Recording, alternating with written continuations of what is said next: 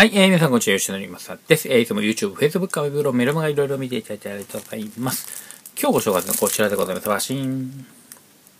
えー、ファミリーマートさんでこう購入いたしました。えー、新発売ということで、えー、サーモンマヨ寿司おむすび。148円と。カロリーが228円。もう普通ですね。サーモンマヨですよ。サーモンマヨ。間違いないでしょ。もう間違いないでしょ。間違いないでしょ。回転寿司。まあ普通のお寿司屋さんあんまり行ったことないですけども、えー、過去数えるほど。あ、そうだ、本当に数えるほどしか行ってこない。多分2回ぐらいしか行ってこない。えーと、でですね、ほとんどかあの回転寿司。回転寿司のサーモンマヨ。完璧じゃないですか。あの、ネギがいっぱい乗ってて、マヨネーズがって。それがおにぎりになって、登場って感じですね。なるほど。こんな感じですね。生ハムのやつもうまいですよね。あの、あの、回転寿司のね。まあ話変わっちゃいましたけどね。さあ、いただいてみたいと思います。いただきます。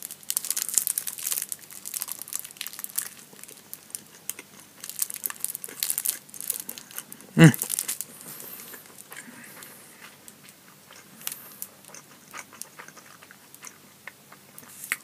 うまい。けど、もうちょっとマヨが欲しいな、これ。ちょっとマヨ遠慮し気味じゃないでしょうかね。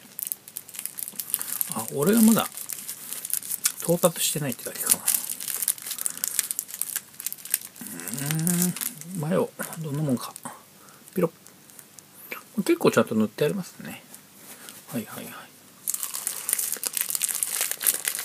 うん。うん。うん。